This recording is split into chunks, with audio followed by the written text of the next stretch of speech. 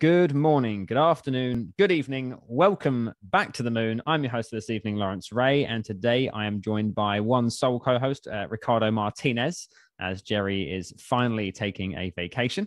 Uh, and today we are very lucky to be interviewing Desiree Dickerson, the genius CEO and co founder of THNDR Games, a Bitcoin Lightning integrated gaming studio, and Jack Everitt, the other genius co founder and chief experience officer at THNDR Games. How are both of you guys doing today? Good. Good. Good. Very good. Thanks for having us. It's our pleasure to have you both here. And now, what one thing that a lot of people will not know is that there's actually a secret podcast we have with Desiree uh, that we did uh, a couple of weeks back. Um, it's so secret that there's actually no recording of it because we forgot to press record uh, when we began. So this is her second time here today, but um, my memory is that of a goldfish. So this is all going to be new information to me because I would have forgotten most of the stuff that we asked. So that's the good news. Um, but yeah, um, it's good to hear that you guys are both doing well. I'll I'll get started with a a pretty straightforward question. Uh, and this is uh, for you, Desiree. Uh, you were at Lightning Labs um, before uh, embarking on this THNDR journey. Um, but before that, I saw that you uh, were work uh, working for Women for Women International with working with blockchain. I think it is yeah, working for Women International, working with blockchain. Um, I saw that on your on your LinkedIn. I just wanted to know uh, kind of what that was about because it sounded interesting. I'd never heard of it basically, so I just wanted to see what that was about. Yeah, so I actually did a fellowship with Women for Women International, which is an incredible organization, um, and they kind of aim to serve women in like post-conflict areas. Um, and so they wanted to kind of look at blockchain technology um, broadly to see, you know, how it could impact their organization, like how it could help. Um, and this was like a long time ago. So what I actually did there was just like kind of do like you know I have a background in consult in management consulting, um, specifically strategy and operations. So I kind of just like dove into like everything they were doing, their mission, um, the people that they were serving, and obviously like at the end of the day, um, the answer was really just like the Bitcoin aspect, and um, you know I think that was like look, I, I feel like I was lucky that I was chosen for the fellowship because, um, you know, it was like all of these possibilities they were floating around with, like, hey, can we put like all of our, um, you know, all of our records um, on the blockchain? Like, can we, you know, manage like the food that we share um, with these women or like the courses that they take on the blockchain, the certificates? And I was kind of like, at the end of the day, you're a nonprofit and you know you're not a tech company. You're still like using windows 95 pretty much. And you know which makes sense but like you know you shouldn't like necessarily just adopt every new technology that's out there. So like but how can you actually benefit from it? And really it was like if you think about these women in you know these emerging markets developing countries who have recently experienced um, some type of conflict. There's a lot of situations where the women you know have lost their husband or you know someone in their family. And with that like they often don't have access to the bank account the family bank account and that money just goes away. So you know bitcoin is a way that you know bringing bitcoin to these women and you know teaching them some level of financial literacy and getting the bitcoin into the hands of these women puts them in a place where they're like financially empowered and like they're set up for more success in kind of these these environments that they're thrown into. So um, that was really kind of my role there. It was like six or eight months and i kind of just dove in um, and really kind of explored it all. Um, you know like obviously like i'm a Bitcoin maximalist. Um, you know, I, I just like truly like focus on Bitcoin even back then. And so, you know, I did like keep it very broad because like they wanted to look at everything. But at the end of the day, what made sense for the organization and what made sense for the um, the populations of women they were serving was like really Bitcoin as a store of value. And, you know, to a certain extent, um, a kind of measure for transactions but you know again like i think the store of value piece um, for these women was the most important aspect Oh, gotcha. It sounds sounds interesting as hell. Like I um that was I mean that's why I asked. Obviously, it seemed like something quite unique. Like I'd not seen anything about that kind of before, and, and it makes sense as well to try and like for them too. Like when you hear about a new technology, you want to see if it's something that's going to impact your organization or help it or make things worse. So it was worthwhile them getting you to do that research, and it sounds like it was pretty interesting research to do, I suppose. Um, yeah, and I think we've we've seen a lot of it. Like people get so you know, in their like donors get interested in these new technologies and like expect these nonprofits to like integrate it. And you know, maybe it, a lot of times it doesn't really make sense. But yeah, it was a really cool project um, and an amazing organization. So I was just glad to kind of help out. That makes sense. And, I, I've got a, a, question for you, Jack, to get you engaged. Um, so my question here, obviously, is you're the the chief experience guy, uh, the technical guy. Uh, I, I, guess is my way of uh, sort of saying it in a in a in a sort of a jealous way. I guess I've always wanted to be able to be good at development and technical things, but not not been my forte. Um, I saw that you uh, also founded a, another game company. I think FireZoo. I think it was. Um, what would you say uh, has been your experience? I, would be interested to see like what your experience has been uh, with developing non-lightning focused games and then lightning focused games, and kind of what your most enjoyable uh, experience has been as a software based developer based guy, as a chief experience guy. Yeah, so as you alluded to, yeah, I had um, I started a game studio back in 2010, which was when the App Store first came out. So I was one of those guys trying to ride that wave when everyone it was all new, just making these games for mobile phones. Um, so uh, in terms of like the difference between the non-Bitcoin and the Bitcoin games, it's actually like largely this. There's largely like the same uh, atmosphere at the moment because everyone's just learning about blockchain gaming and uh, everyone's sort of jumping on the bandwagon at the very beginning. So from from it's there there is these parallels uh, between the two industries, but they are different. Like just doing a normal game versus one with Bitcoin rewards or NFTs or whatever. There there's obviously quite a lot different because um, you think about when you're adding value into a game, it suddenly becomes a honeypot for cheats, and either they'll ruin the experience of people already playing the game, or they'll find ways to cheat your game and just like run into the ground basically. And then also if you think that to give away value from a game the value has to come from somewhere and that's the users because obviously they're buying things or they're like putting their attention in the game and seeing ads. Uh, and some users are more valuable than others and there's this kind of equilibrium to be met where everyone can get a fair share of the value they're creating within this kind of community. Um, so yeah, it's quite a big. It's quite a different. It's a different problem to solve when you put the Bitcoin into the games compared to just normal games, which are just for fun. When you put Bitcoin there for fun and have this honeypot. Yeah, I get you. I mean, I, I think yeah, people are already incentivized enough to cheat in games anyway without the, the extra value that you get. I mean, I, I mean, I remember um, I'll say allegedly in case this is illegal. I remember jailbreaking my iPhone back in the day years ago um, and doing all kinds of things. And I remember some guy at school. I didn't. This is obviously how you know how how young I am. I, it's nice to feel young. Um, some guy at school like, had doodle jump. I think it was. he was an absolute douchebag.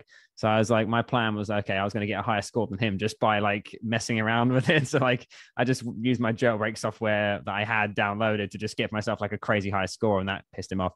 So um, you know, if people like me are out there willing to do that for like just to piss off a guy at school, then if there's money involved, then as you say, it's going to become a lot more challenging.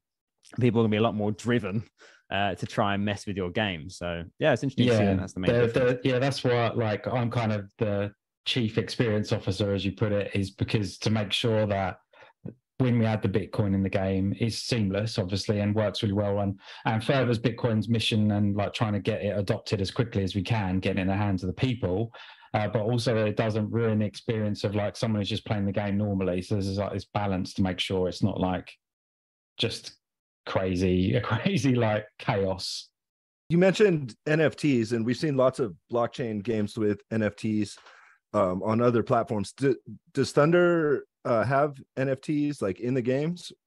Is that part no. of it? No, no, we, we don't have any. We we don't have. Uh, we don't really see any demand for it. Um, I, I think because the types of games we create are around they're competitive games, so they're not really earning games. Uh, we call our system not play to earn, but free to win. So it's free to enter and join these tournaments, and it's free to win some prizes. So people are just happy to win the Bitcoin. They're not like they, they don't need to win the NFT to sell to get their Bitcoin. They just win the Bitcoin straight away. So uh, I don't think we get a lot of re- requests for it. Um, maybe in the future, if we made a game that's more uh, appropriate for NFTs, like a collecting game, maybe we'll look at it then. But we're very much a Bitcoin only company as well. So we're really moving with the speed of the Bitcoin technology on that front. Yeah, we wouldn't if, do that on some random chain. We would need to just, you know, wait until the tech was there, you know, Taro, whatever, to you kind of... you wouldn't be interested in doing it on like RSK or, or um rare Toshi, the the NFT thing on Liquid? Um, yeah. Uh, so the, we always have this because we're a startup. We always have this balance between like growth and uh, adoption of our games and concepts versus like things that probably aren't going to be mainstream because even that's not quite so mainstream. So our focus is really on the competitive gaming where we don't really need the well competitive and like free to free to win like prize draws and stuff. So we don't really need the NFTs so much as part of that. Um, but if we were to do it, yeah, we would use those technologies like probably. Yeah, I mean, we we could definitely. I think Jack makes a really good point. Like, I mean, I do think the NFT community and um, you know the Ethereum community do a really nice job of like onboarding and like the UX is really beautiful. Like, you know, we'll I think everybody can pretty much admit that, but you know, that like especially with gaming, like the minute that like something looks awful, like we a lot of our users, the vast majority of our users are totally new to Bitcoin. So, you know, we can't throw something that like is really difficult and really challenging at them. Otherwise, we're going to lose them. Um, so keeping it as simple as possible. So even once like, you know, those technology like, technologies are, I don't know, at a place where we can use them, I think it would still be like, okay, does it make sense within the game just like in terms of like onboarding the user? Because that's really like our end mission. It's just so simple for someone to come play when and now they have bitcoin. Um, so yeah i mean we're, we're totally open to it um, once there's demand once the tech is there um, it's definitely something we would be willing we would love to explore. It's just you know unfortunately we haven't had really any impetus to do so. If you yeah you, you've got to focus on what's most demanded for by your customers and potential customers and then obviously you know what makes sense in the here and now. There's only so many of you working on this right? So you know uh, if you had an unlimited budget then sure you probably send people off looking at all sorts of technologies and integrating all sorts of things. Um i guess where one of the things i wanted to understand uh not sure probably best i'm guessing this is directed towards jack um but uh how does and obviously feel free again uh, on this one to you can tell me you, you know only some stuff or not i don't know how much is, is sort of privileged information but how does one go about actually integrating lightning into a game like how does that happen? How does that work? Like obviously i get that when i play bitcoin bounce on my phone which i play sometimes um i can earn the sats. And so it's, i just I, I try to understand like how it actually works on the like what what's going on behind the scenes that i'm not seeing mm-hmm. basically. Yeah so we have um obviously our uh, like income streams which is advertising sponsorships and in-app purchases that we get. So we basically work at an average of how much we want to reward back to the users. That's like a fair amount that they'll be happy with whilst we still keep some profit so we can like run our business. So we have this like balancing act between how much we give away and how much we keep to keep the lights uh, on. So when we have that pool of money we divide that into our prize pools. We have a different prize pool every day for giving the prizes out the games. And the users can earn a portion of that prize pool by winning it through um, a prize draw mechanic. So they play the games, they collect little lottery tickets. The more tickets you have, the more chance you have of the jackpot. So the higher prizes you can win. Then behind the scenes, what happens is um, just like in a normal game where you have gems as your currency or like coins that you collect in a game on, the, on a database. When you win a prize in THNDR Games, you will also win like you always have a list of prizes that you've won as well. So how many sats you've won. It's just on a database stored on date like Jack's won 10 sats today. Um, then when you want to cash out your prizes, we have uh, a Lightning node, which we have some funds on, and we have open channels to the major wallets that our users will use. And they will request, they'll be logged into their account. They request they want their 100 sats, and they tell us, you know, send us the Lightning invoice, although we do it via LNURL um, with, with the wallets. And then uh, when they send the LNURL to us, we validate that they're the person who who can get those funds and also that they're requesting the right amount of funds from us and then we send it to them over the lightning network just with a simple api call from our node and when it completes when that payment goes through then we just like tick it off on their account that this one's been paid off so the little database entry that said that they've won this prize gets ticked off so it's kind of straightforward we really just we just have a list of prizes on the user's account pay them out with an, uh, our Lightning node. Gotcha. Is that is that like a fully automated process uh, in, in, in the back? Or, yeah. Yeah, yeah. It's all it's all automated. Okay, yeah, that's cool. That's a little bit more straightforward than I imagined. I was imagining like, okay, so every person has a Lightning wallet, and then like the, the two sats they earn are getting like sent to them, and a, there's no, channels between yeah. hundreds well, everyone, of thousands. Everyone already has a Lightning wallet, don't they? Like they already got yeah, the yeah. wallet Satoshi, Breeze, so we don't need to have another one in between there. Um, we just like pay it to them when they want what, it. You know, what are the most popular wallets that you guys are seeing your users um, use?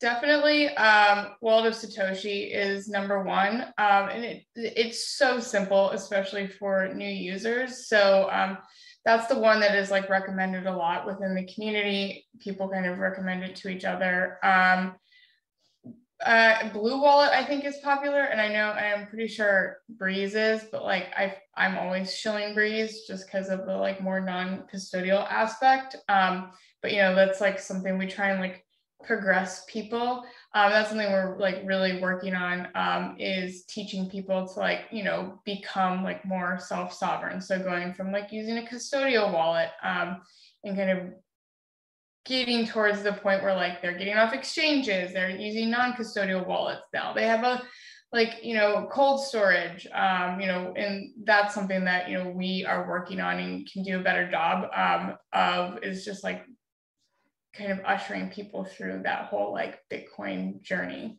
um, but for right now yeah we just wallet of satoshi is definitely the simplest okay yeah i mean it's funny because i've never actually used wallet of satoshi people always tell me what like, do you use then I've got a few that I've used in the past. At the moment, I've used I'm using um, Muun and Blue Wallet, but um, I just never used for associate. And everyone says yeah. it's like the best, but I just never used it. Well, actually, Muun Wallet is is we noticed a lot of traction with Muun Wallet in the past, you know, couple of months, maybe six months actually, where it came out of nowhere and it's actually quite a popular one. A lot of people in South America use that one. Right. I, I like it because it's really good to onboard people. They're both, I think Blue Wallet and Muun are both really good for onboarding people who are beginners. Um, because like with Moon, it's like um the submarine swap side of it makes it so that it's not that you know, it's not that confusing. Like, like oh, I get my Bitcoin and I can send out my Bitcoin, and it's kind of like not that tough to try and give someone the difference. And if they mess up, they're still going to get it uh, into their balance. Um, and then with Blue Wallet, it's like if you really want to teach someone the actual differences and you think that they're ready for that, then you can be like, hey, here's the Bitcoin wallet, and you separate your Lightning wallet and you can move the funds. So yeah, I like both of those. But yeah, I've never never really tried Wallet Satoshi. Um, in, in honesty, I've got much more to learn about Lightning. I, I ordered Mastering Lightning yesterday off of Amazon, so hopefully I'll uh, I'll work it out in the the coming months.